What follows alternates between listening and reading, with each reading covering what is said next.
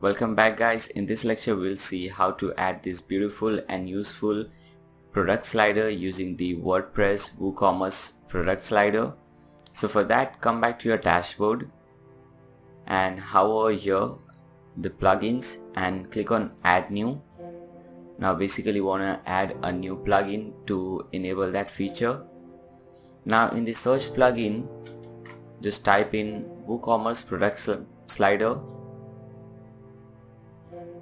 and select this one WooCommerce product slider by Pick Plugins. Now click on install now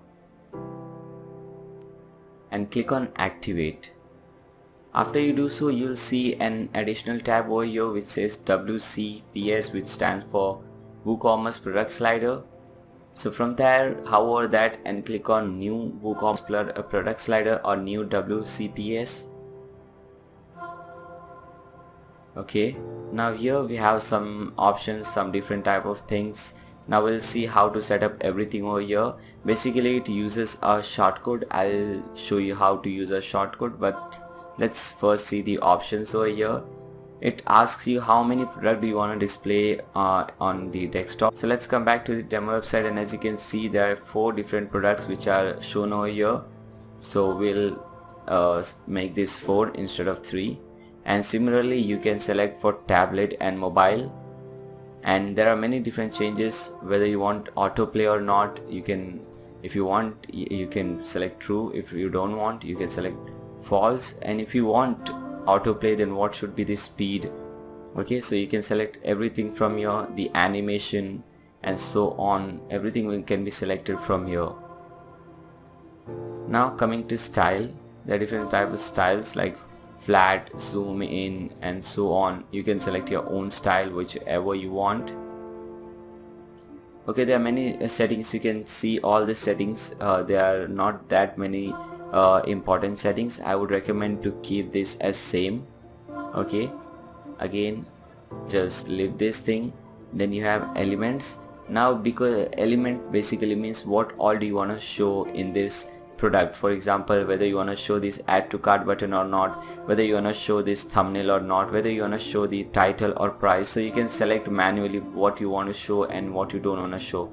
For example when you tick mark this thing the thumbnail which is this one the image won't show.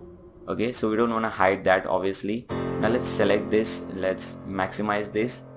And make sure uh, the size of the thumbnail is set to full. Okay make sure it is set to full.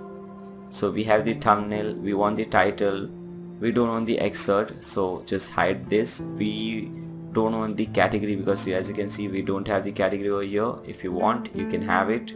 We don't want the category we don't want the tag we do want the price we do want the rating we do want the cart button. Uh, if there is sale yeah we want that. If it is featured element we don't want these things. So we can hide this on front end okay fine. You can also make some changes over here add to cart background color text color and so on. But first let's see what changes are taking place. Okay first click on publish.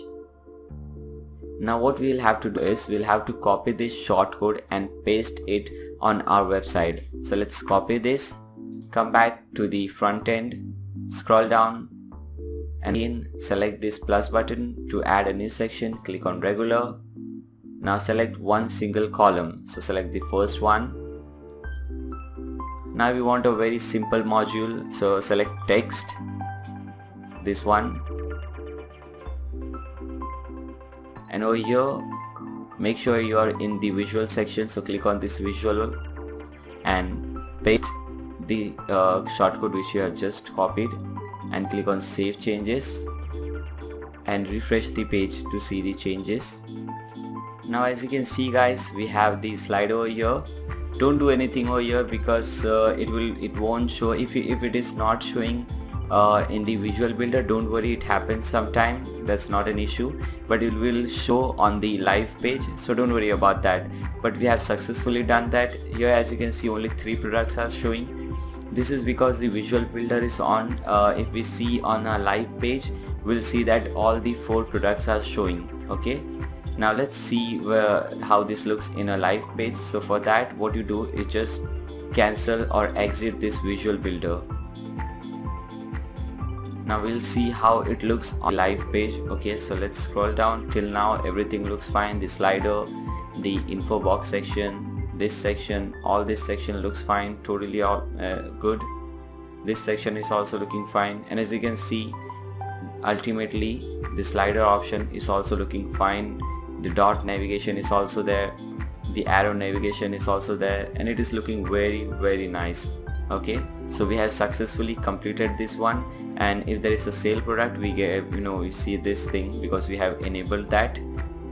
So we have successfully uh, created a slider product slider which is very very important. If you see in Amazon in Flipkart you see this thing is very commonly used. A slider product slider is very commonly used so this is helpful. In the next lecture we'll see how to create this icon slider. And in the later lecture we'll see how to create this newsletter which is very important. Okay guys so see you in the next lecture